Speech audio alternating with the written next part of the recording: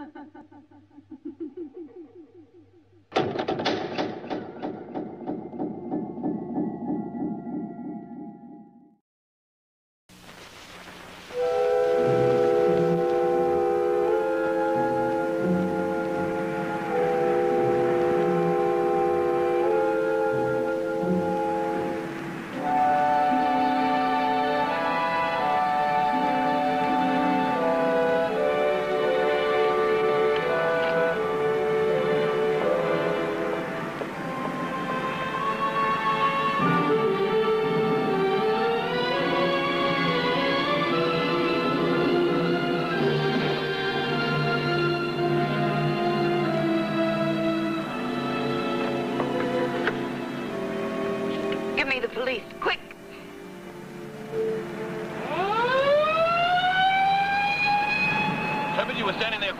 with her and she keeled over. Just like that. It was just like that. I thought she'd fainted or something, but she was dead. He's lying. He killed her. I saw it from my window. You struck her with a rock.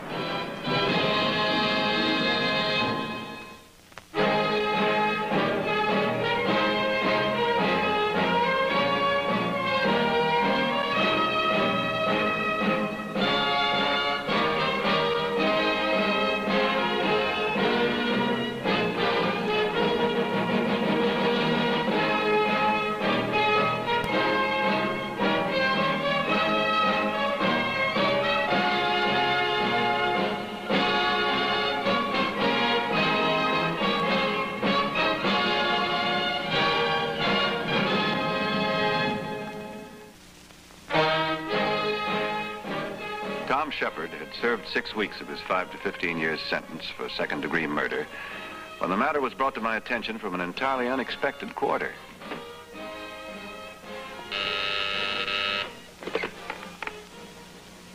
Yeah?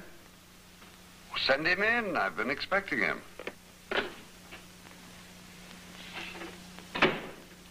Hello, Herb. Norm, how are you? Nice to see you. Sit down. Thank you. I suppose you're curious as to why I got you up here. No, not really. I imagine it has something to do with those patents. No, this has nothing to do with business. I want to see you alone. This is personal and urgent. Herb, my daughter has moved out of the house and gotten a job in town. Eileen? Well, you ought to be very happy for her, Norm. Good for her to see how the other half lives. Yes, I'd be all for it if that was why she left. But uh, I'm afraid Eileen is going to disown me unless I do something to help Tom Shepard. Tom Shepard, isn't he that young executive of yours who was convicted of... Well, how'd you get mixed up with him? Well, it's my fault. I was impressed with the boy. You know, clean cut, good education, terrific drive. I took him home to meet her. Sounds like you when you were a little bit younger, Norm. Well, the point is, she's convinced of his innocence. On what grounds? She's in love with him. That's what grounds. Oh, I had a battle on my hand trying to keep her away from that trial. I was worried sick for fear they'd drag her name into the papers. You think he's guilty, Norm? What difference does it make? If something isn't done, I'd lose my daughter. Well, maybe Eileen was right. You could have retained the best criminal lawyer in town. Why didn't you? Well, his family already employed capable counsel, and besides, I didn't want her name dragged into a scandal. But now, Herb, you've got to look into it. For Eileen's sake. She's fond of you. Ever since she was a little child, she's thought you were the greatest lawyer in the world. Norm, I've known Eileen ever since she was a child, but I just don't have the time. All I'm asking you to do is look into it. Don't you understand? If you report back that this case is hopeless, she'll believe you. But what if I find something that points to his innocence? Well, I'm not expecting miracles. Herb, since my wife died, Eileen is all that I have. I don't know what in the world I'll do without her.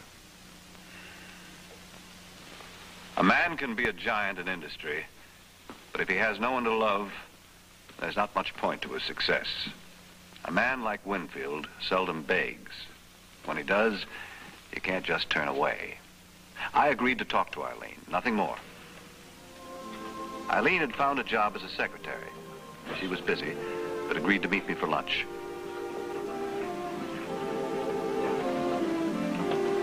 I'm so happy to see you. Eileen Winfield wanted no peace treaty with her father, but she was eager to talk about Tom Shepard. Are you going to help Tom? Is he worth helping? Same LP record and such stereophonic righteousness. Well, if you're saying your father's tried to prejudice me, you're wrong. He never has. Look, Mr. Maris, I know Tom had big ideas. When we first started to date, he probably had an eye on the executive suite as well as the bride. But somewhere along the line, he changed. Tom's not ruthless. He's warm and he's very tender. Once you break through his defenses. Well, he's aggressive, but what's wrong with that? Nothing. Unless the taste of success gets too rich for his blood, and if the drives get out of hand, and he doesn't let anything stand in the way, the next thing you know, you'll read the results in the tabloids. Why did you come here, Mr. Maris, if you're just so sure he's guilty? Eileen, did you know he was two-timing you with Betty King? Tell me all about her on our second date. He was through with her. He told me he didn't kill her, and I believe him. And he told a jury he didn't kill her, and they didn't believe it. But juries can't make mistakes. And girls in love can't make mistakes. They're uh, never prejudiced, always clear-eyed. All right, look, don't take my word for it. You go and talk to him yourself, just once. Then if you still don't believe him, you can for... Please, Mr. Maris, will you just see him? It's one afternoon out of your life. It's everything to Tom and, and me. All right. Oh, I'm so glad. How about something to eat, huh? I love it. Waitress? There was no doubting Eileen's conviction. When she said it was everything to her, she meant it. Lieutenant Weston had been the arresting officer. Tom Shepard had been one of his easy cases. Once in a while, he had a real tough one. Uh, what was that, lady? You say some children are playing cowboys and Indians in the street, and they annoy you. Oh, yes, some things annoy me too, lady. I'll send a man right out. Thank you. Oh, good day, Counselor. Lieutenant, how are you? And to what do I owe the pleasure of this visit? A guy by the name of Tom Shepard. Tom Shepard. Why, Herb, you got something new on him? The jury brought in a verdict in less time it takes to see a ball game. How much do you remember about the details? As they say, I was at the scene of the crime. Did you see the actual incident? No. But there are people who did. Before Tom Shepard killed this Betty King, they were seen in a bar fighting like cats and dogs. Witness to that, Jake Ryan, the bartender. Witness to the killing, Mrs. Caffrey. She saw Tom strike Betty with a rock. Another witness, the girl who sells tickets at the theater. She didn't see him hit her, but he, she saw the girl fall. Who's retaining you on this case? Shepard's family? Norman Winfield. Oh, Shepard's boss. Your boss. My client. Oh, excuse me, Mr. Maris. What is your client trying to prove? That the company stands by its boys through thick and thin? Or is this fee tax deductible? Lieutenant, off the record, Winfield's daughter is the other girl in the case. So. Honestly, Herb, you think it's fair to the boy getting his hopes up? And you know there's nothing you can do to help him? A little suffering won't hurt. Not if we can help the boy in the end. Now, can I see the records? Why not? They're public. You're a taxpayer, so's your boss. I mean client.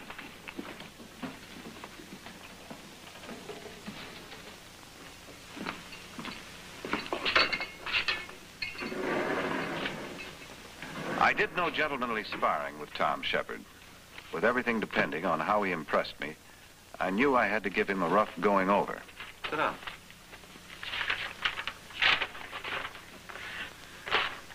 The bartender said you threatened to break Betty's neck if she went to Eileen's father. Well, I didn't mean it. I was so burned up I didn't know exactly what I was saying. A man that angry could kill without knowing what he was doing. I knew what I was doing. Sure, you knew if Betty went to Mr. Winfield, your marriage and big shot plans would be off. That's not true. So you had to act fast. You picked up a rock. Look, I swear I didn't. I never even laid a hand on her to help me.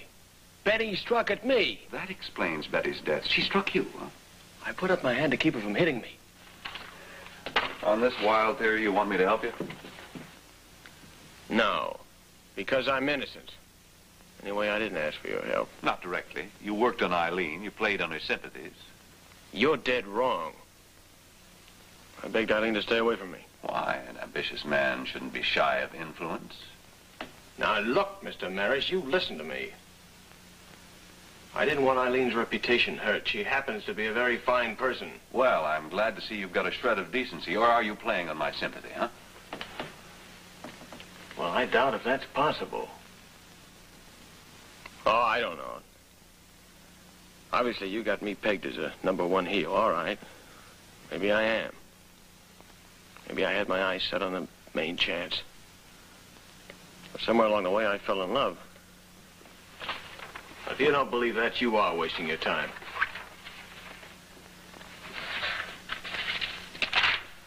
The medical report established blow on the head as the cause of death. Even your attorney was unable to shake the expert witness on that point. My attorney did the best he could. He was a classmate of mine. What about your family? Didn't they help you? Help me? How could they? I was supporting them.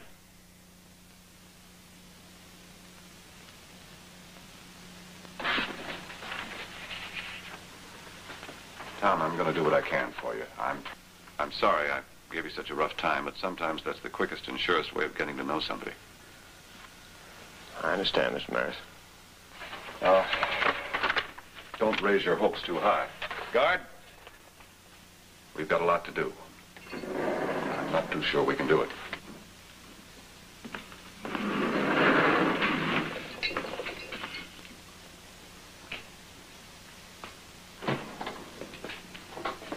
No, I'm not happy to drop by. Not at all. It's on my way home. I spoke to your daughter and Tom Shepard.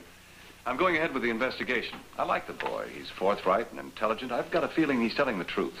Well, that's fine, Herb. That's fine. Uh, when you get back from Washington, you get right on it. The patents? I'm not going to Washington. I'm turning it over to my correspondents there. Herb, I retain you as my general counsel because of my confidence in your ability. Now, I expect you to handle my affairs personally, not through a correspondent. The patents will have to wait. The boy's case is urgent. There's an investigation. And if I come up with something new, I want to move for a new trial immediately. Herb, I realize that you take great pride in this sort of thing, but is it necessary to become a wild-eyed fanatic about it? A boy's in prison that shouldn't be there. In your opinion? You solicited my opinion. Why'd you ask me to get into this case? Well, I certainly didn't expect you to go off half-cocked. I can understand Eileen being taken in by a smooth charm, but not you, Herb. You're a shrewd lawyer. And I'll tell you something else. I don't care what happens to Shepard. He's no good. He's a cold-blooded climber, a fortune hunter. But not a murderer. The jury found otherwise. You examine the facts for yourself. I will. But in the meantime, I'll give him the benefit of the doubt. All you've got is the word of a rank opportunist who's lying to save his own skin. And for that, you're tossing away a generous retainer and the friendship of half a lifetime.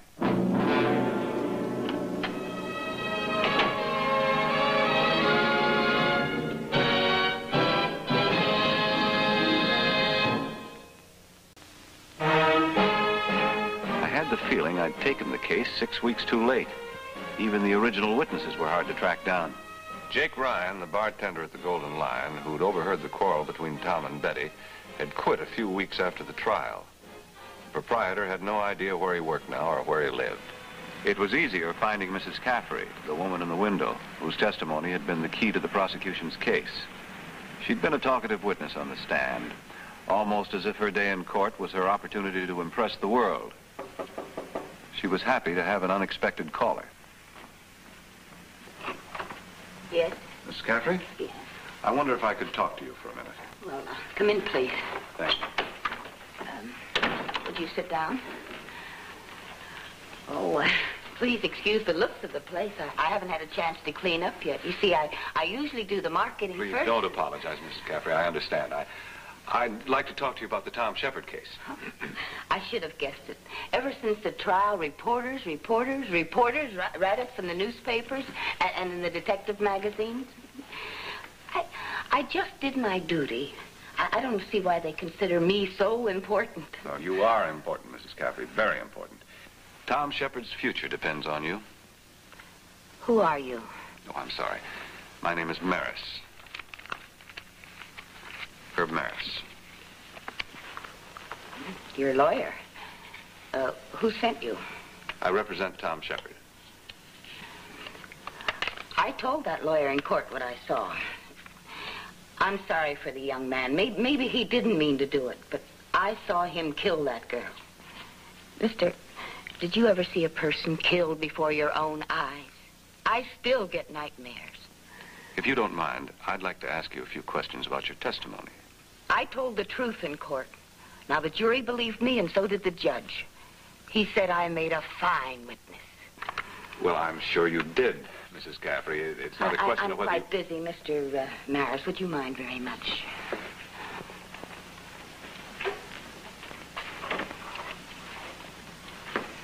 Thank you for talking to me.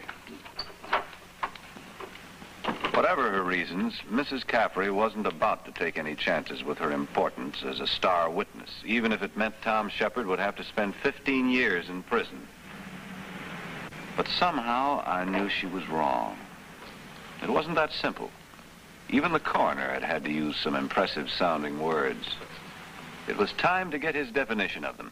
Dr. Phillips, at the trial, you certified cause of death, I quote, a ruptured cerebral aneurysm. So the record shows, Mr. Maris. Doctor, what is an aneurysm? It's a sac or swelling caused by the dilation of an artery and the tissues around it. Thank you, Doctor. You further testified this ruptured aneurysm was caused by a blow on the head. I stated as my expert opinion that it could have been caused by a blow on the head. Were there any marks? Mm, yes, the laceration and bruise over the left ear. Or could it have been caused by a fall? Mm, yes. Then there could have been other causes. Oh, of course. An aneurysm could even be a chronic condition over a long period of time.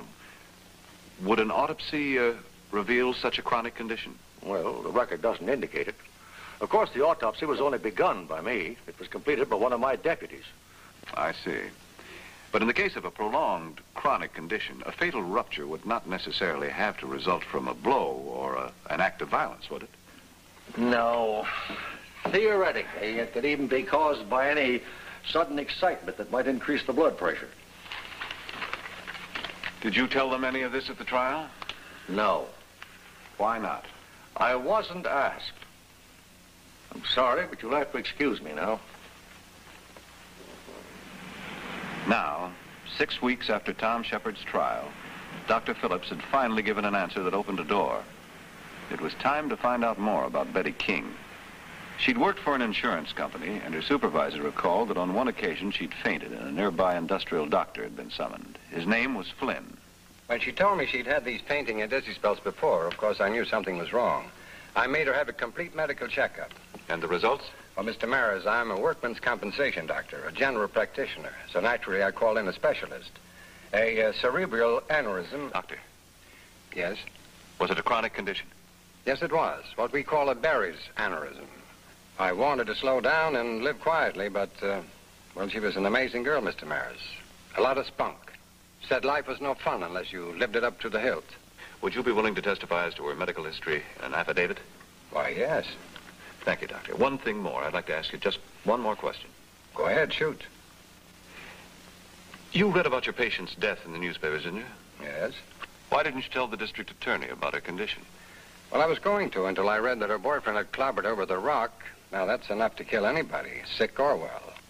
And he had a motive to murder her. Lieutenant Weston had located Jake Ryan for me. He was working in a bowling alley out on the north side.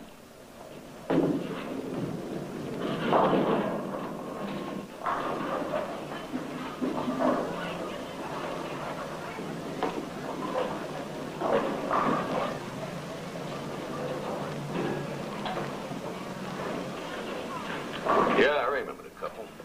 How could I ever forget him. We're sitting down there at the end of the bar. She was getting a little noisy, kind of out of line. He was trying to shush her up. I just burned her up all the more. Hey, what are you doing this for? Kicks, headlines, or something? Well, maybe you like the DA job, huh?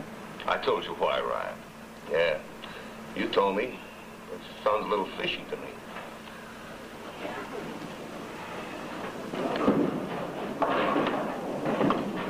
You testified Shepard started out without paying his bill and you ran after him. No, I didn't run after him at all. I just yelled across as he was going out, that's all. He whipped out his wallet, pulled out a $5 bill, and threw it at me and busted out the door. He was in such a hurry to catch up with the dame, he didn't have time to put the wallet back in his pocket. Say that again. I said he was in such a hurry to catch up with the dame, he didn't have time to put the wallet back in his pocket. He just busted out the door. Thanks. Thanks very much.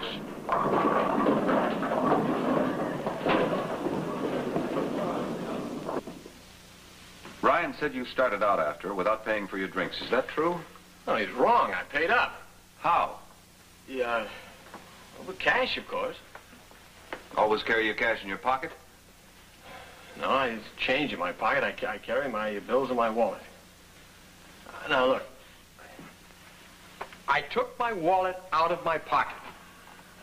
And I, I tossed a bill on the counter. Then I, I ran out into the... I don't see what connection... What did you do with your wallet? I put it back in my pocket, I guess. You guess, don't you know? Well, not exactly. I was in a hurry to catch up with Betty. This wallet may be the most important matter of your life. I don't see the connection. Well, let's try another approach.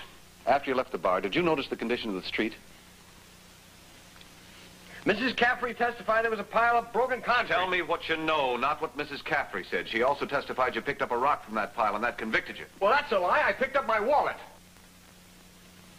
You know what you just said. Sure. I tripped and dropped it on the pile. I remember distinctly, and I was stooping to pick it up. I still had it in my hand when Betty tried to hit me. Then you couldn't have put it back in your pocket. Where were my brains? How could I have forgotten a thing like that? Too bad you did. Guard! Now get this, Weston. The boy runs out of the bar, dropping his wallet. He picks it up. The girl swings at him. He uses it to protect himself. The girl drops dead from excitement, strikes her head as she falls. And you buy it? Well, along with Dr. Flynn's affidavit, it looks like I have no choice. Thanks, Lieutenant. If Flynn had spoken up when he read about Betty King in the newspaper, there wouldn't be any need of this affidavit.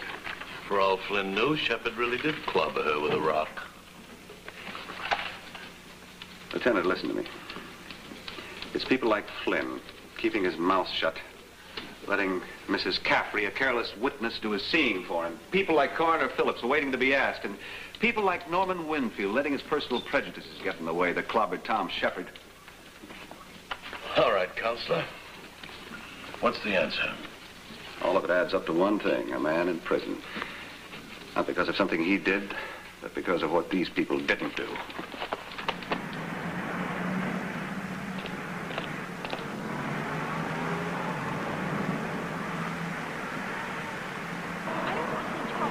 Leave me alone.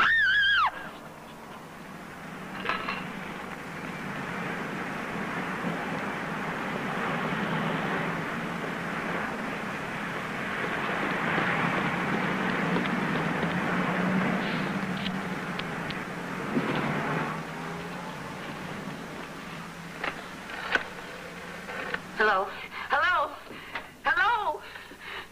Oh, thank goodness you're here. Look,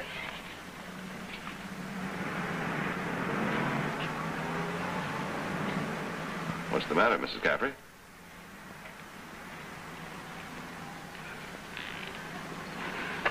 I, I must be losing my mind.